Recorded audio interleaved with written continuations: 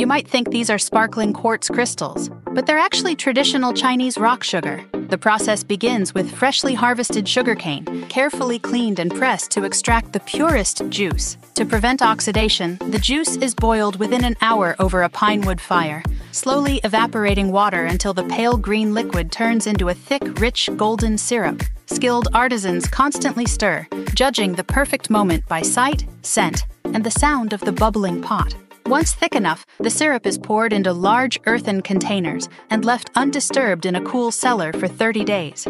Over time, sugar crystals grow naturally along the walls, forming clusters that glimmer like amber gemstones. When ready, workers drain any remaining liquid and gently break the solid sugar apart by hand. The final product is translucent, aromatic, and completely free of additives. More than just a sweetener, it soothes the throat, nourishes the lungs, and embodies centuries of patient craftsmanship and science.